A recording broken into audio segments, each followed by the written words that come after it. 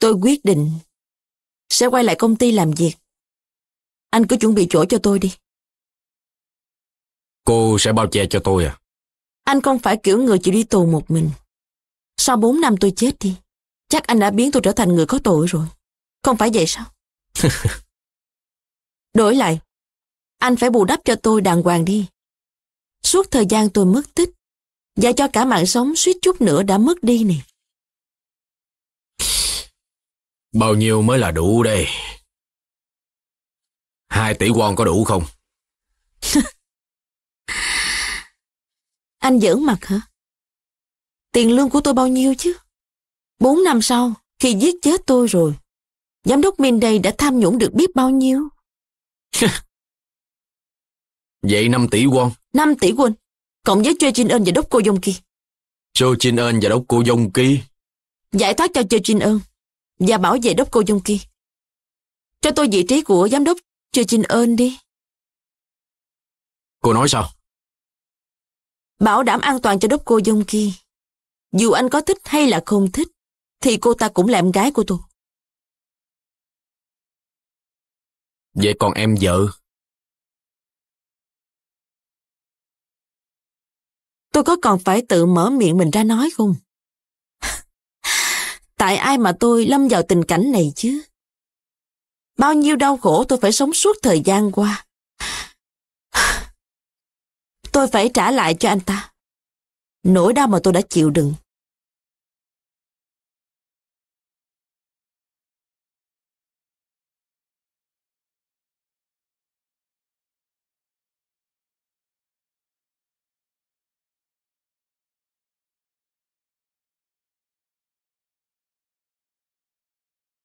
Anh ta tới viện nghiên cứu trung ương đi.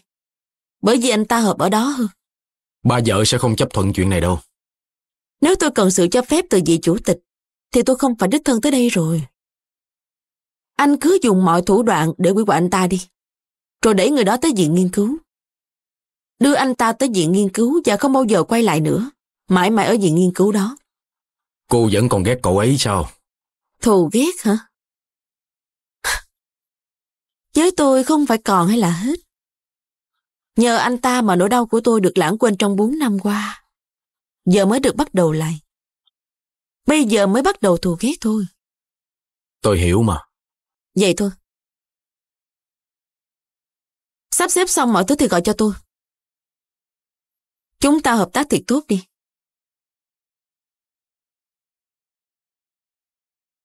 Để lần sau rồi bắt tay đi ha. Những bản báo cáo và đoạn phim của Kim Xuân Dơn em gái cô đang giữ, bằng mọi giá phải giao lại cho tôi. Rồi tìm cách làm em gái cô phải im miệng lại. Đoạn phim có thể bị copy lại. Cần gốc làm gì? Tôi thấy chừng nào cô mang nói đến thì tôi mới dám tin cô. Nên hãy bàn giao chúng cho tôi. Luật sư Đô. Tôi đi đi. Đi cẩn thận.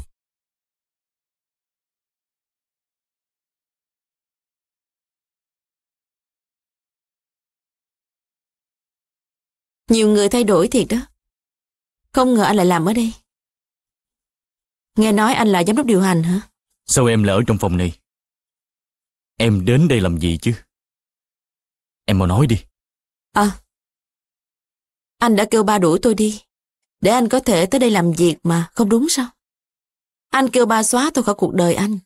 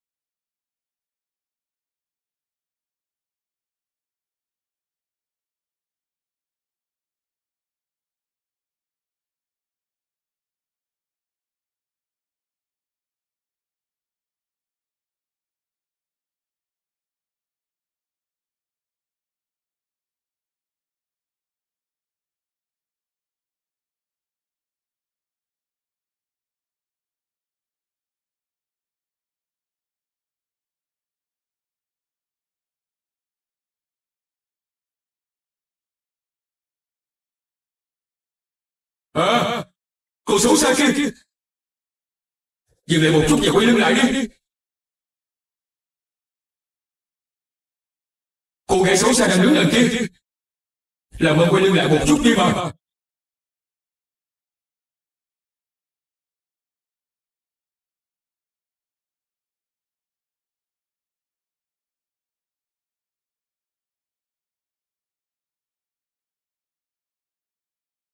Đồ xấu xa đôi he căng.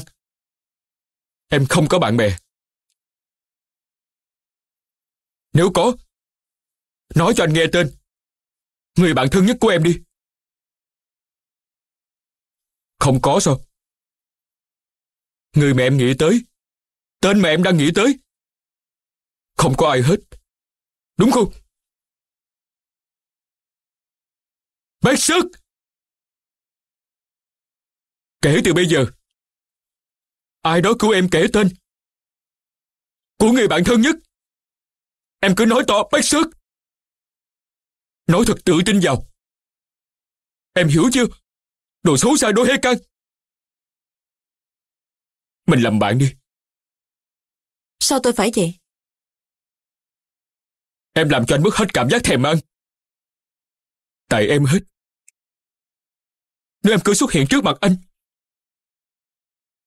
Ai sống mà không cần phải ăn chứ. Mất khẩu vị rồi thì sao mà ăn được. Anh sẽ giúp em xóa bỏ tội lỗi đó. Bằng cách nào? Kiếm gì ăn trước đã. Nếu đi ăn hai người, thì vẫn đỡ hơn đi một mình mà. Chúng ta làm lại từ đầu đi. Bắt đầu từ con số không.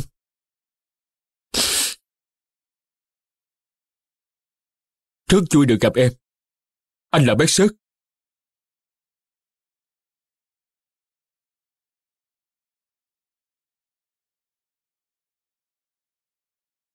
Không sao hết. Bắt tay. Thì đợi tới khi chia tay bắt cũng được. Em nói em muốn trả ơn cho anh. Vậy bàn về chuyện này đi. Để xem thử. Anh nhận được bao nhiêu ha?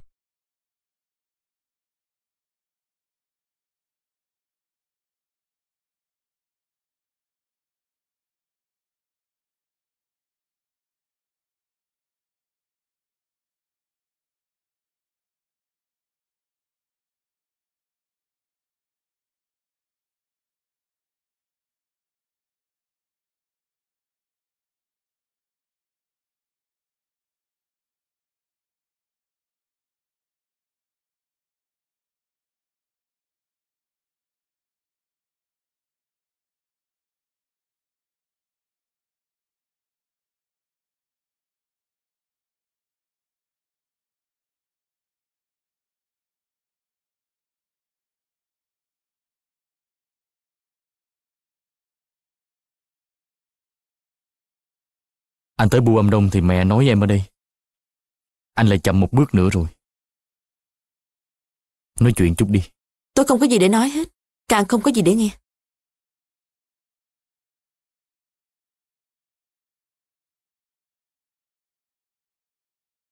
Mở cửa ra! Mở cửa ra đi đồ hơi căng! Mở cửa ra! Mở cửa đi đồ hơi căng! Đồ hơi căng! Đồ hơi căng! Mình à! Anh không đi! Anh không đi được! Dù em có đẩy anh ra xa, anh cũng sẽ không đi đâu hết. Anh sẽ không đi đâu hết. Anh sẽ quay lại khoảng thời gian đó. Với nỗi đau đó. Anh sẽ quay lại lúc đó cùng em. Mình cùng ở cạnh nhau đi. Mình ở bên cạnh nhau đi hay căng. Đi với anh. Đi với anh đi mà hết can làm ơn.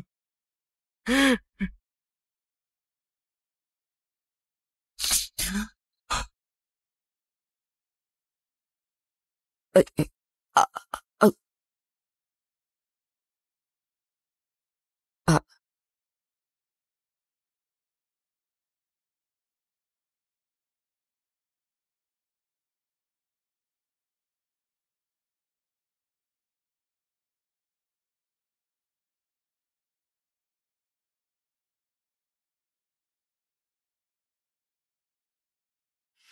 그대를 원하고 원해도 채워지지 않는 내 사랑은 Anh nói đi.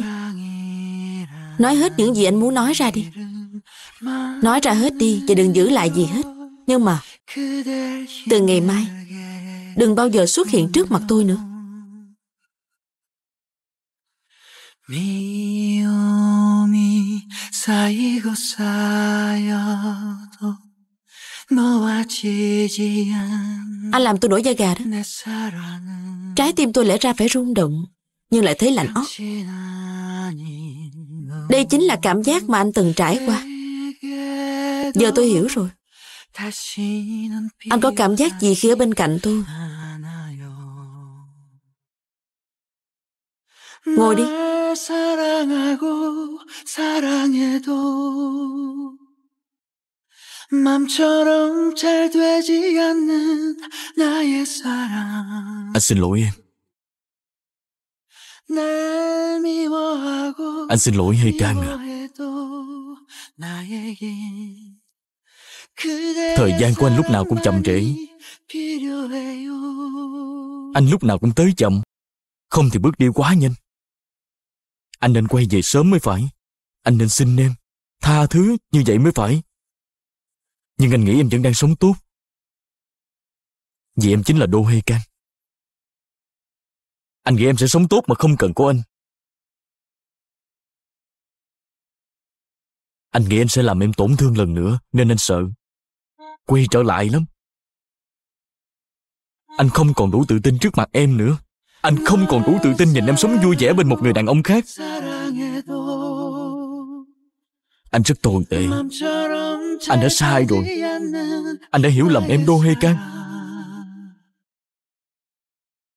날 미워하고 미워해도 나에겐 그대의 사랑만이 필요해요. Em đã phải đối mặt với mọi chuyện. 그대가 Em đã cố gắng làm hết sức mình để không bị sụp đổ nhưng mà anh không biết gì hết. 대로 Anh tưởng em đã quyết định quên con bé rồi. Anh tưởng em đã dứt bỏ anh Son không nghĩ tới nó nữa. Anh không biết trong lòng em sụp đổ. Anh không biết em đã khóc thầm một mình. Hay can à? Cùng nhau vượt qua đi em. Bây giờ hai chúng ta có thể để cho anh Son ra đi. Để cho con bé được tự do. Bắt đầu từ đó đi. Anh và em. Bắt đầu lại từ đó đi. 오직 그대의 사랑만이 필요해요.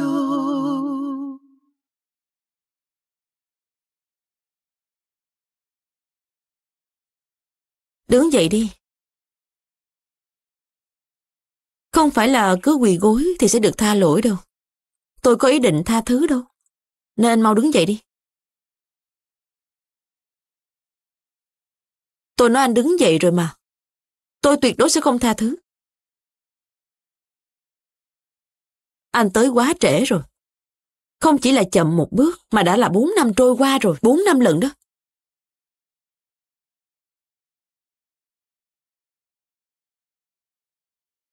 Anh uống không? À. Anh không uống rượu với tôi mà đúng không?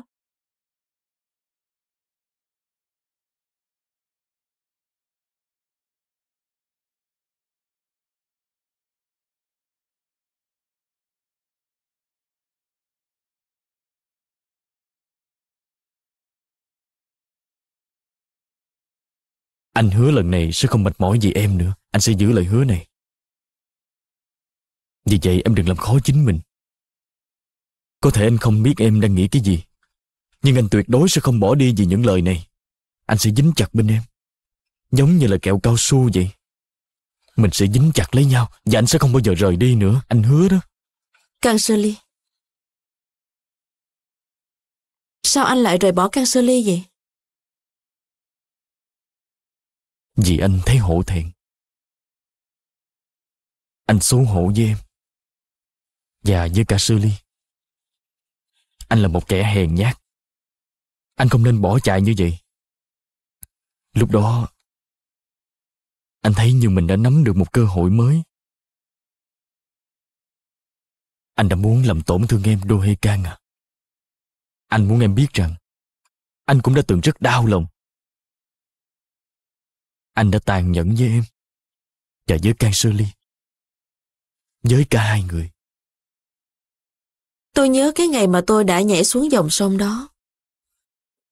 Tôi đã cắn răng vì thế nhục nhã.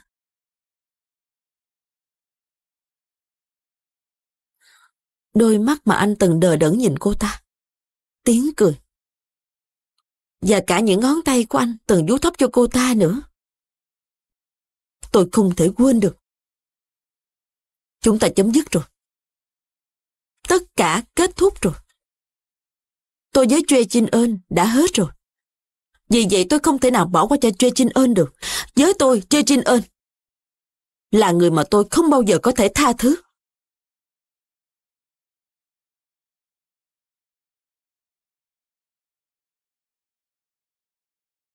Chủ tịch từng nói muốn giao lại công ty dược phẩm trên nhân cho tôi.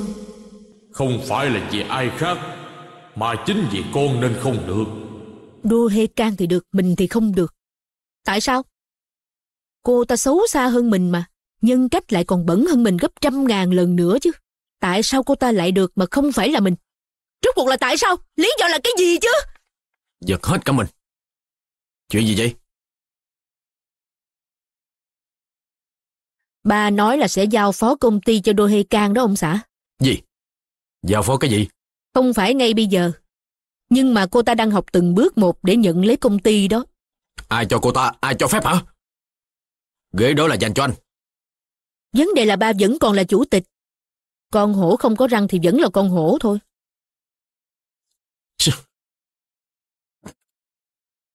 Ông ta giết bạn của mình. Giờ còn muốn được con gái tha thứ sao? Anh nói với ông ấy tới đây cầu xin em với mẹ tha thứ đây nè. Hình như ông ấy giữ cô ta để bắt đầu chơi trò độc chiến với anh. Anh thấy mình nên ngồi im chờ mà ăn bánh thôi. Bị đẩy vào bước đường cùng rồi mà anh còn ngồi đó chờ ăn bánh được hay sao hả?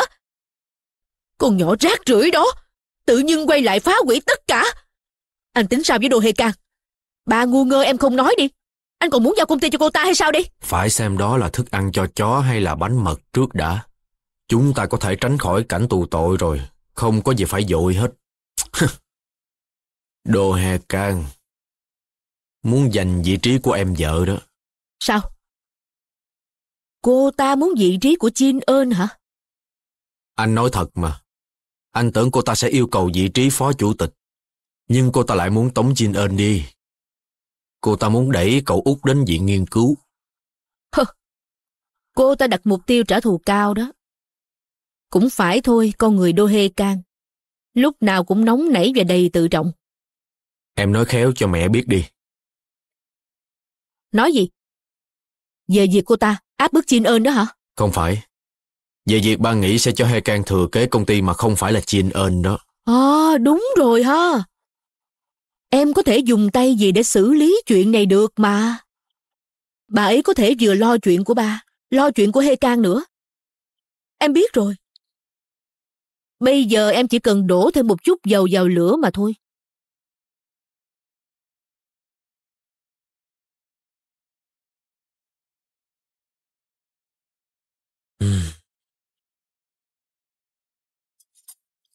Sao vậy? Không lẽ tôi lại làm cho bà giận sao? Sao ông lại có hành động bất thường vậy? Ờ, hay là ông có hành động kỳ lạ gì tôi đòi ly dị với ông hả? Ừ. Tôi đang cố hết sức để giữ mình lại. Đáng ra phải đối tốt từ sớm. Ông lúc nào cũng coi tôi như tình nhân, có bao giờ nhìn thẳng mặt tôi đâu. Tôi đang hối hận đây. Ông nói cái gì vậy? Ông hối hận hả? Có ai quan tâm mình có bao nhiêu tiền đâu. Đến cuối đời, cũng chỉ có thể mặc một bộ tang lễ thôi. Sao tôi lại dùng cả đời để kiếm tiền như vậy chứ? Sao tôi lại lãng phí cuộc đời mình? Khi chết đi, cũng đâu có mang tiền theo được. Nhưng tôi vẫn muốn mang theo những ký ức đẹp. Trước giờ tôi không biết. Mình ơi, tôi nghĩ mình đã thay đổi rồi đó. Thật sao? Vậy tôi sẽ thay đổi nhiều hơn. Nên bà đừng nghĩ tới chuyện ly hôn nữa. Ừm, Con nghe nói là ba giao dược phẩm chân nhân cho em dâu chứ không phải là giao cho Chin ơn đúng vậy không ba? con nói cái gì? Gi- giao cái gì? Giao cho ai? Ôi trời, mẹ cũng không biết chuyện đó nữa hả? Nghe nói ba hứa sẽ làm cho Đô Hê Cang trở thành người thừa kế. Và bây giờ cô ta đang phấn khởi lắm luôn đó gì. Có thật vậy không? Ông mau nói đi. Chuyện vô lý mà Chinri vừa mới nói có đúng là thật hay không hả? Đúng vậy. Tôi quyết định sẽ làm vậy. Tại sao? Sao lại là con gái của Kim Gu Nam mà không phải là con tôi? Tại sao? Sao vậy? Nói tôi nghe đi. Ông thử biện minh, thử thuyết phục tôi đi. Tại sao lại là con gái của Kim Gu Nam chứ không phải là con trai của tôi hả?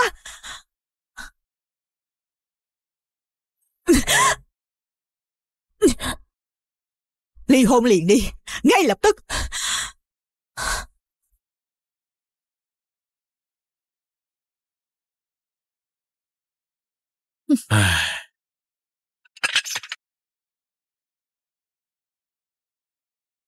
Dạ, phục vụ phòng tới đi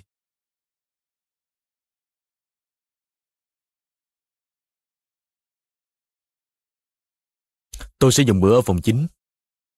Cùng với vợ của tôi.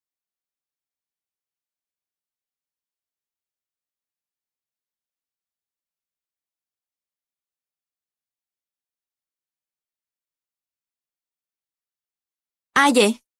Dạ, phục vụ phòng. Tôi có gọi món gì đâu. Anh gọi đó. Cùng nhau ăn sáng đi. Dọn ra đó giúp tôi đi. Em đi đâu vậy? Ăn sáng đi rồi hãy đi.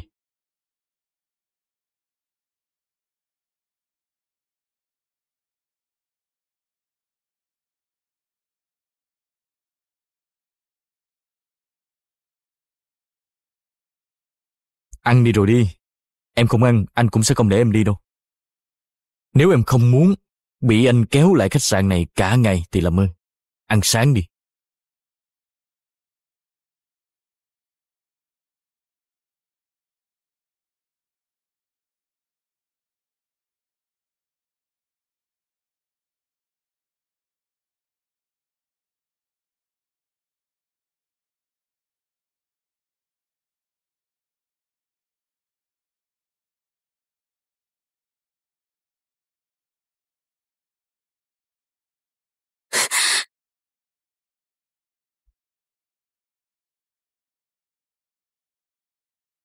Bỏ ra. Không bỏ. Bỏ tôi ra. Anh không bỏ. Nếu em thoát ra được, thì cứ đi đi.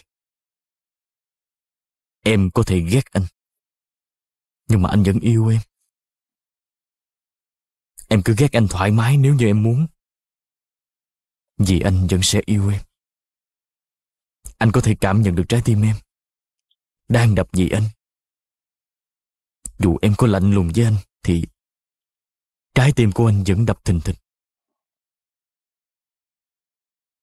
Anh không bắt em phải yêu anh. Cứ cãi nhau đi cũng được. Chúng ta nhìn thẳng vào mắt nhau. Nhìn vào mặt nhau, cùng nói chuyện. Chúng ta cứ cãi nhau đi. Chúng ta cứ cãi nhau như trước đi. Em sẽ ăn. Hả? Em nói là em sẽ ăn. Ờ.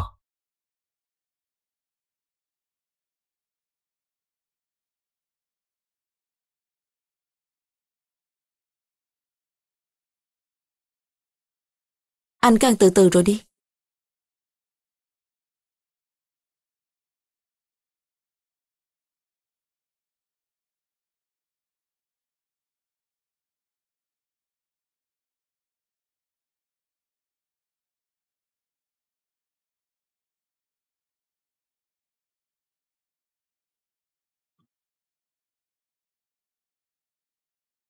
Chúng tôi nhận được khiếu nại về việc có một kẻ bám đuôi. Vui lòng theo chúng tôi.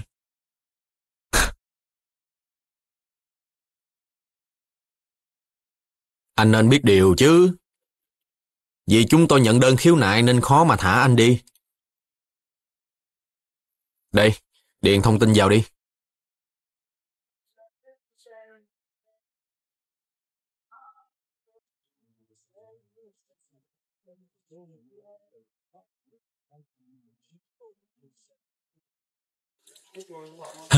Nè, chuyện trên Eun. Tới rồi hả? Giám đốc không được như vậy đâu. Xấu hổ quá đúng là mất mặt. Ôi trời ơi! Chuyện này làm sao? Rốt cuộc có chuyện gì? Hả? Tình yêu gì mà gây ra nhiều chuyện lớn như vậy chứ? Không có giây phút nào là yên tĩnh hết trơn hả? Ai, chia tay cô ấy đi, chia tay đi còn nghĩ cái gì nữa, chia tay cho rồi. Chuyện này làm sao đấy? Sao cô có thể khiếu nại anh với cảnh sát được chứ? Cô hay can đó khùng rồi hả? Sao cô ấy phải làm vậy? Hả? Quá kỳ lạ, quá quắc lắm rồi. Làm vậy thì hơi quá đáng rồi đó. Làm vậy là đi quá xa, rõ ràng là không giống bình thường chút nào. Làm quá lên? Cô ấy không phải là kiểu người làm quá lên đâu. Làm quá sao?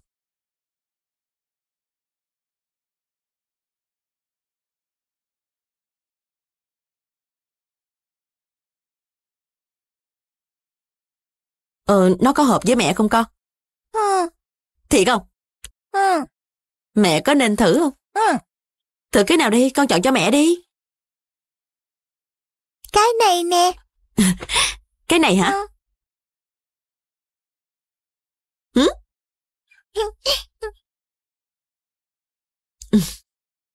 Nhìn mẹ sao con? Mẹ có đẹp không? Không đẹp hả? Ôi, sao lại không đẹp được? Hai người nhìn giống nhau mà. Sao những bộ này lại không hợp với mẹ vậy, Vu Tru? Ừ. 12 giờ rồi đó cô dông kia. Mình có nên hỏi bác sĩ thử không mẹ? Trả lời đi đốc cô dông kia, 12 giờ rồi. Tôi nghe rồi nè. Lúc nào cũng 12 giờ. Tôi sẽ đưa Vu Tru cho anh. Chờ chút chúng tôi ra liền. Tôi vào trong đó một chút được không? Sao? Không được. Không được đâu. Anh không được vô đâu đó nha. Đã 12 giờ một phút rồi, dù không được tôi vẫn sẽ vào.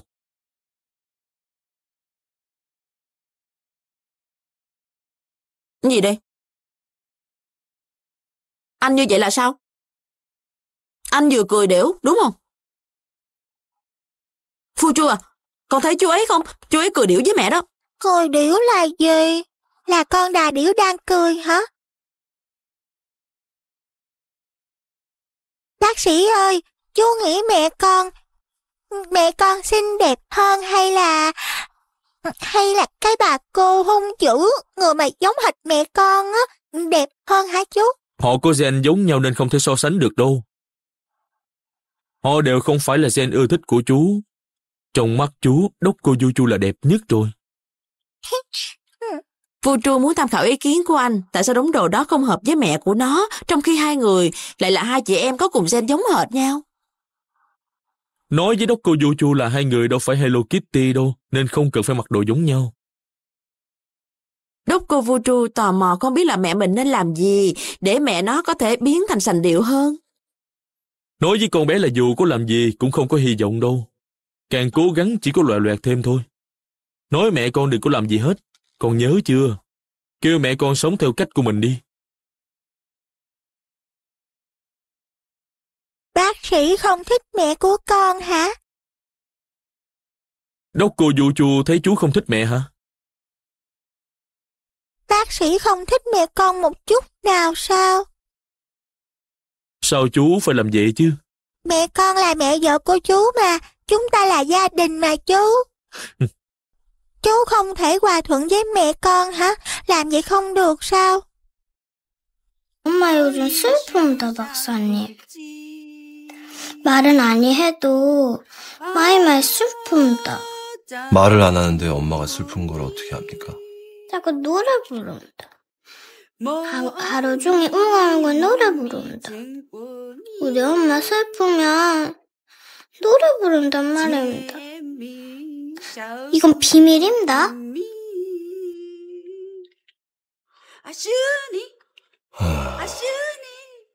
우주 씨, 나 엄마랑 사이좋게 지내도록 노력해 보겠습니다. 약속하겠습니까? 你的笑容这样熟悉，我一时想不起。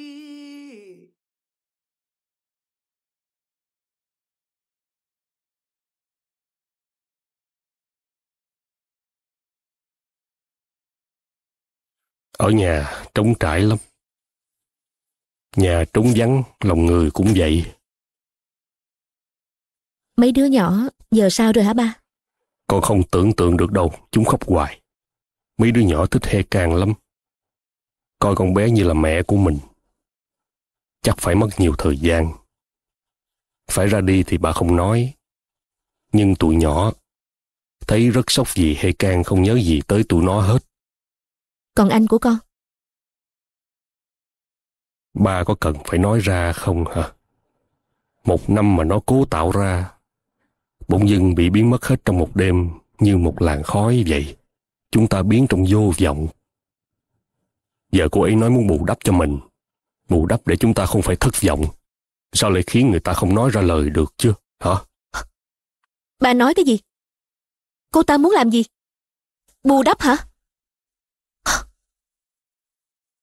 Con về nhà đi. Con cứ về đó, rồi dỗ dành tụi nhỏ dùm cho ba. Ở bên chúng và làm dơi bớt nỗi đau này cho chúng đi.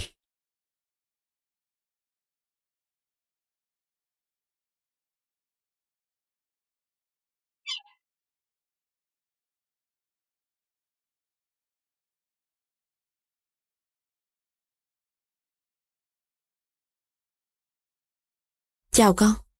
Dạ con chào dì. Dì có chuyện muốn nói với mẹ con. Mẹ con đâu rồi? Dạ đi làm. Vậy còn bà? Bà tới quầy trái cây đằng trước rồi. Có mình con ở nhà hả? Dạ không, còn chú bác sĩ nữa. Hôm nay chú bác sĩ được nghỉ làm mà. Con ngồi xuống đây đi. Ừ.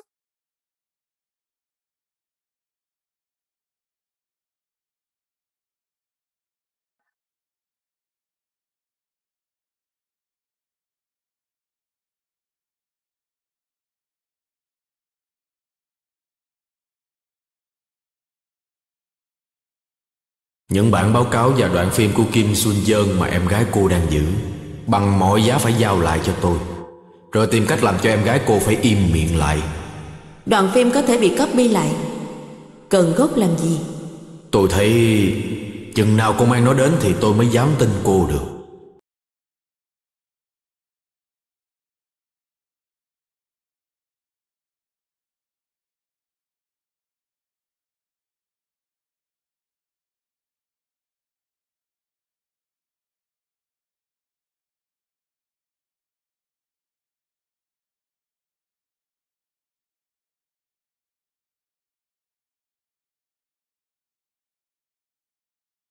Thử ngày sinh coi.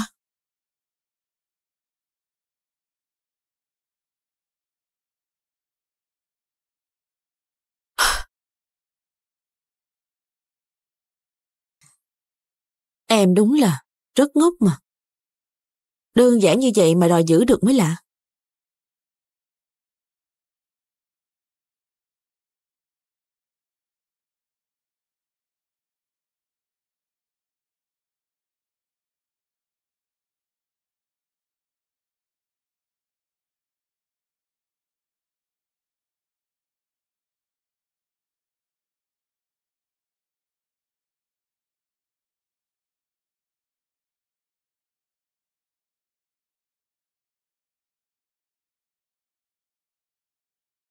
Đồ của mẹ con mà. Đúng là đồ của mẹ con mà. Con chính mắt nhìn thấy dì lấy nó ra từ vali của mẹ con. Con tới đây đi.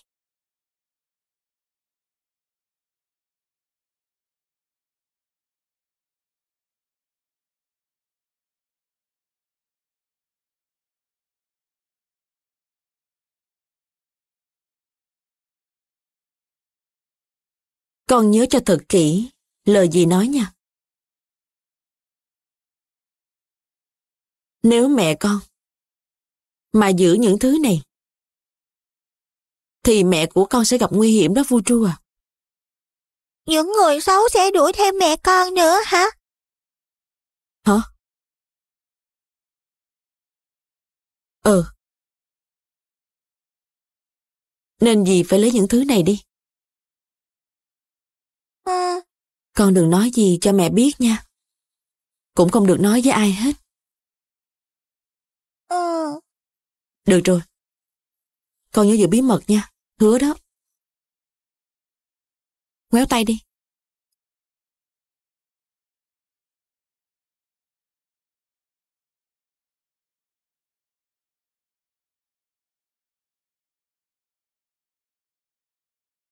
Cancer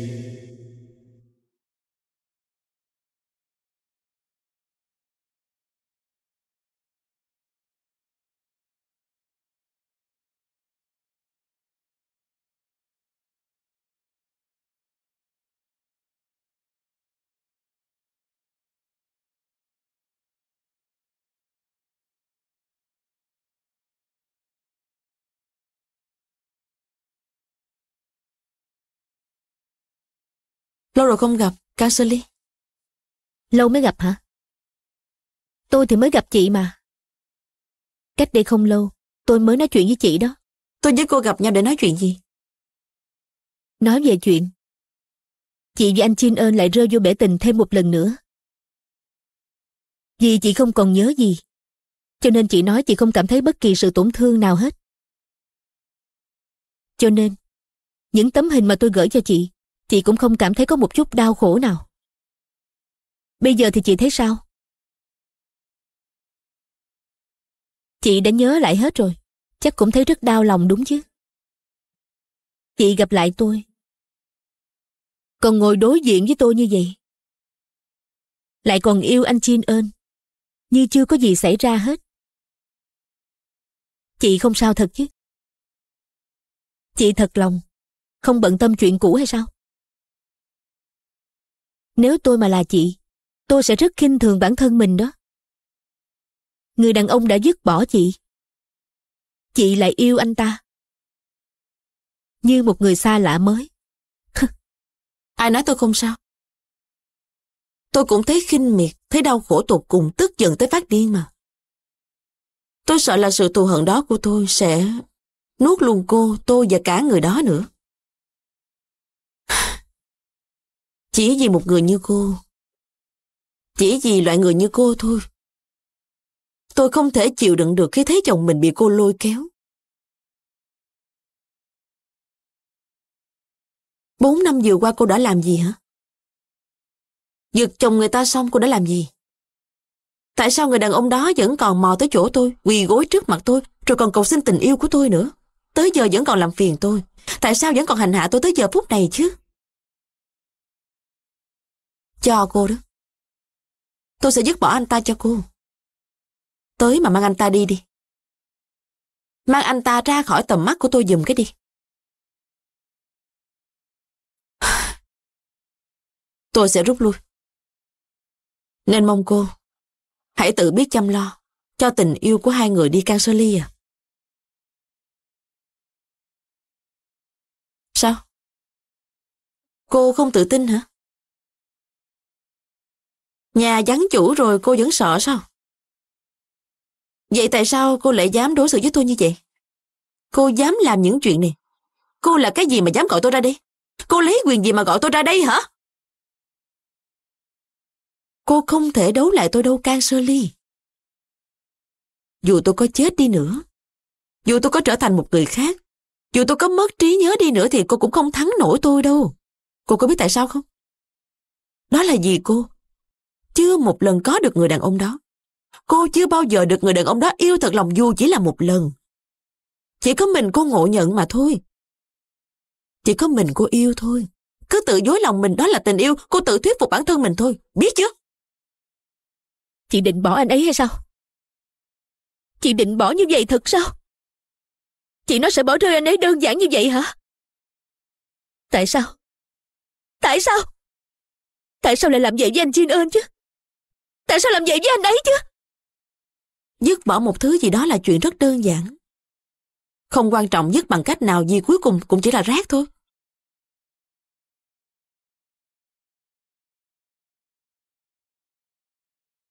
Tôi cảnh cáo cô một lần rồi mà. Đừng phí thời gian vào những chuyện vô ích nữa. Đừng để phí tuổi trẻ của mình trong thùng rác nữa. Nhưng cô trả lời với tôi như thế nào? So với việc chết mà không làm gì, thì thà hao mòn bản thân mà chết đi.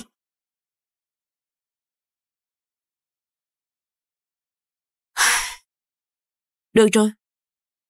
Những gì cô nói thành sự thật rồi đó. Cô bây giờ đang chết dần chết mòn chỉ còn lại cái vỏ ngoài mà thôi. Cuộc sống, năng lượng, tuổi trẻ, hy vọng của cô, tất cả đã biến mất khỏi cô rồi. Phí thời gian vào tình yêu không tồn tại. Cô nên lo lắng cho bản thân mình trước đi đã càng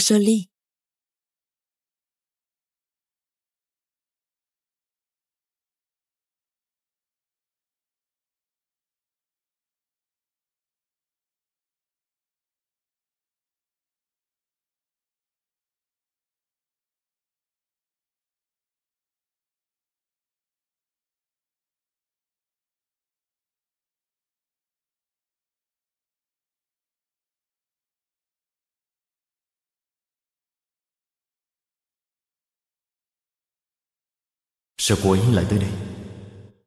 Cổ muốn quay lại làm việc Cổ muốn tôi tìm một vị trí thích hợp Sao?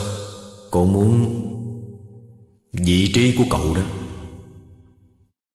Cổ muốn quỷ hoại cậu Rõ ràng là Cổ đang muốn trả thù Tất cả chấm dứt rồi. Tất cả kết thúc rồi. Tôi với Choi Jin Eun đã hết rồi. Cho nên tôi không thể bỏ qua cho Choi Jin Eun được. Với tôi, anh Choi Jin Eun là người mà tôi không thể nào có thể tha thứ được.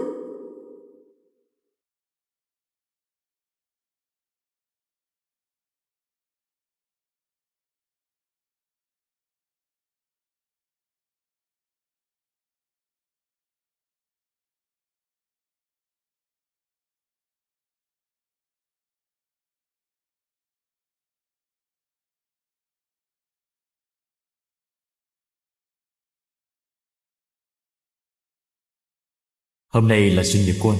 Chúc mừng anh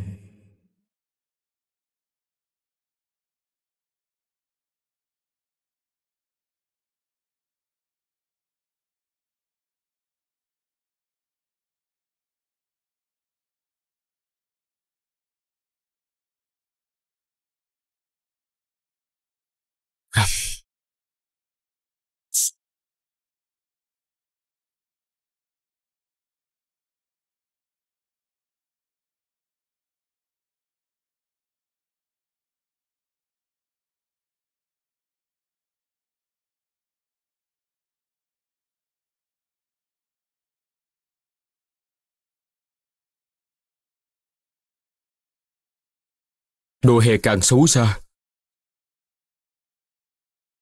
Chắc em thấy không quen cho lắm. Anh cũng thấy em rất lạ lẫm đó. Em gái của em cố tình gọi anh ra quán cà phê đó. Để cho anh dứt bỏ tình yêu vào thùng rác. Để làm anh dứt bỏ dễ dàng hơn. Vậy anh đã dứt bỏ chưa? Anh đang cố gắng dứt bỏ đi Sau khi uống hết đống này, Anh sẽ dứt bỏ hết Chung với đống lon này luôn Anh vẫn chưa dứt hết đồ của tôi mà. Anh sẽ bỏ được hết thôi. Nhưng hình như anh vẫn chưa bỏ thứ nào hết. Tất cả vẫn còn ở đây. Tại sao anh không bỏ được? Lúc tôi yêu cầu anh dứt bỏ, anh nên bỏ đi chứ. Chúng không có ý nghĩa gì hết. Nếu anh dứt chúng đi Lỡ như chủ nhân của chúng Muốn quay lại tìm Lúc đó phải làm sao đây Anh không thấy mệt vì tôi sao? Không thể chịu đựng được tôi là chuyện rất bình thường mà. Bốn năm trước anh cũng đã chịu không nổi rồi. Anh đã từng như vậy. Anh trải qua hết rồi. Anh có kinh nghiệm rồi mà. Anh đã gặp đôi hê can. Lúc đó em cũng rất thô lỗ. Ăn nói thì luôn trống không. À, sống trên đời này. Bốn năm trời có lãi gì đâu. Anh sẽ cố thử một lần nữa.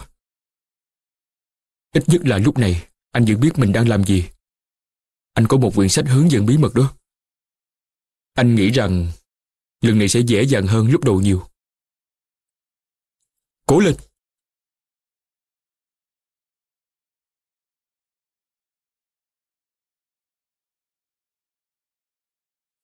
Một bức tường thành Trong lúc chúng ta nghĩ đó là bức tường không thể dịch chuyển, thì cũng ngay lúc đó, có một người lặng lẽ leo qua bức tường đó đó là bài thơ mà đô hê can thích nhất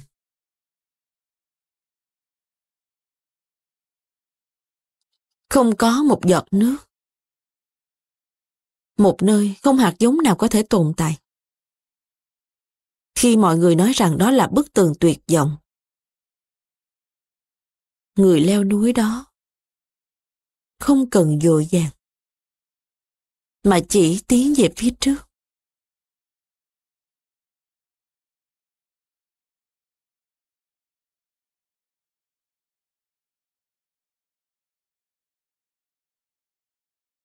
là em nè sớt à?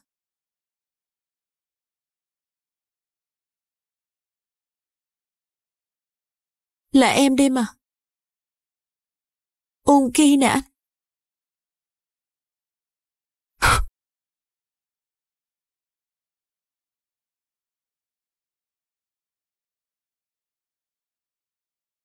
Anh giúp em đi sớt à?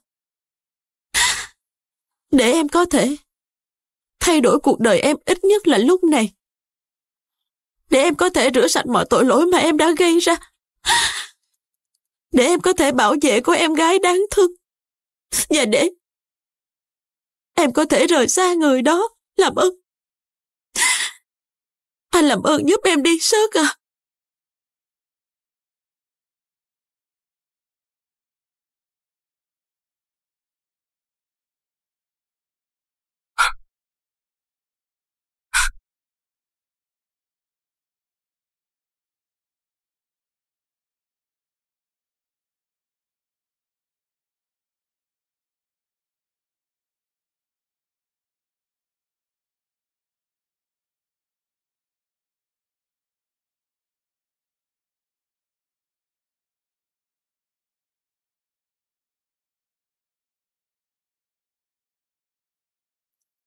Trê ơi. Anh hãy biến mất khỏi cuộc đời tôi đi. Tôi xin anh đó.